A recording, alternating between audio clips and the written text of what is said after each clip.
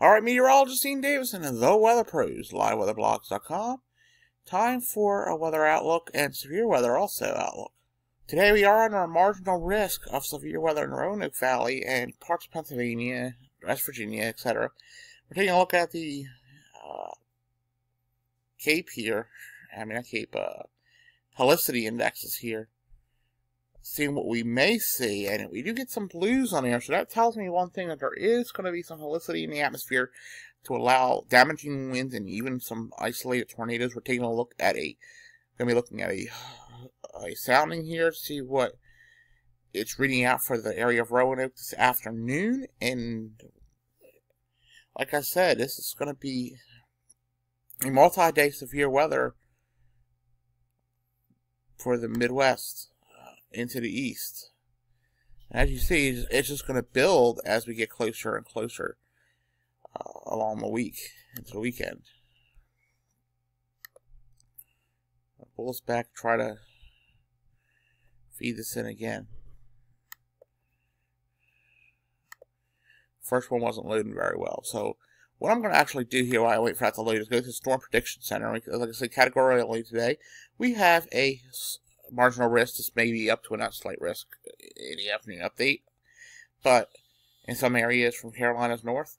Uh, but you see Roanoke, Lynchburg, uh, West Virginia, Ohio, Pen Pittsburgh, Pennsylvania, Harrisburg, all in the potential for severe weather today.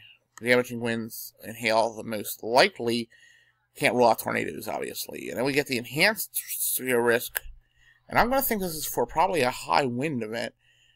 Let me just read into this. Just because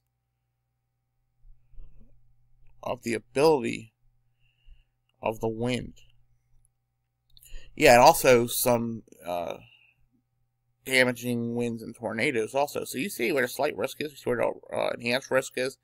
Large area of enhanced risk across Oklahoma City up to Indy. So we move on to the day on Saturday, and you can see the marginal risk goes from Philadelphia back to Charleston, West Virginia. Then the slight risk picks up, and then the enhanced risk back to Waco and Dallas and areas such as that. Another thing, the high pressure will be off here, so when this high moves, that's what it's going to be. It's called the ring of fire. And the ring of fire should sometimes be good for linear thunderstorms or multi, uh, what do you call it? Quasi-linear convective systems or squall lines at even derechos in some points and parts. And with the heat being in place, we could have some long-lived lines of storms. We have to keep an eye on it. We'll move to 4 to 8 to see what you here. And you can see another thing in the Tennessee Valley. And like I said, this is... We'll then move east. Just the probabilities right now are too low, so they always do that. Uh, of course, soundings aren't working very well today. Um, let me try another hour point, see if it was just that sounding. Because that sometimes does happen. So all I'm saying is we need to be very careful on what we see. I'm actually going to go through the soundings here because it might be faster. Even though it's not. It'll be the observed sounding so we can see kind of what we're looking at. Um, let's see here.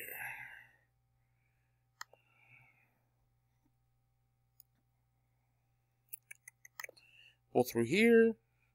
It's a very interesting site, Storm Prediction Center. So I, I suggest anybody uh, go through it. It's really a neat. It is a neat uh, site. Let's see. Latest was 12Z. We can pull that up. We can pull Roanoke up here. We can look at it. Hodograph don't look too great. Uh, when this was taken, I mean, there is a little turning of the wind. It's nothing se severe that I'd really, uh, on that sounding data, that I'd be really crazy about. But let's just move to another uh, model, see if it's just that model that's having a problem putting out data, which is sometimes the problem that happens. And we'll pull convective, we'll pull the shear like I was pulling. Let's pull it back. There we go a little. Sometimes I pull this a little too far.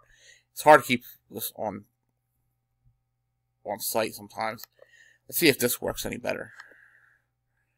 Sometimes it's a model situation, sometimes it's the site, so we have to watch that closely. Uh, so we do have this uh, in GFS. So future modeling would show that Roanoke actually has a chance in, in, a, in a potential hazard type is under tornado. There is some rotation available. Um, this is this afternoon. We do have 1400 Cape uh, ships and uh, River 1. So we do have uh, a chance, but the main risk would be damaging winds. The winds do increase with height.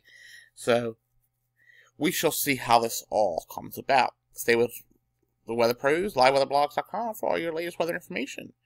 And we'll keep you up to date. Meteorologist Dean Davison, thank you for watching. Have a great one.